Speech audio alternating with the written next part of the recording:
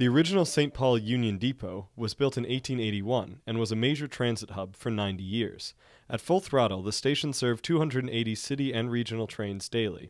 And after nearly four decades without trains or passengers, the depot is undergoing a major renovation. We are really breaking ground today on the future of the East Metro and the Twin Cities. We are breaking ground for a new economy for a wider region. We are breaking ground for the future. The depot will be a modern day multimodal transit hub by 2012 with access to intercity and local buses, light rail and passenger rail, as well as easy pedestrian and bicycle access from Lowertown in St. Paul.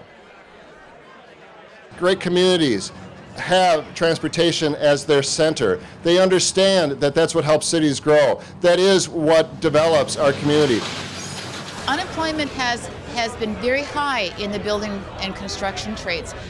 20% unemployment, which is much higher than the national rate, much higher. And so we're excited to see 1,500 jobs coming, 1,500 that will put people back to work and it'll support the families that, that they all have. The project has the support of legislators, area businesses, and the community at large. After all, there is no such thing as a Democratic or Republican infrastructure part project, and there's no such thing as a Democratic or Republican job. We all depend on safe infrastructure, and job creation has got to be everyone's priorities.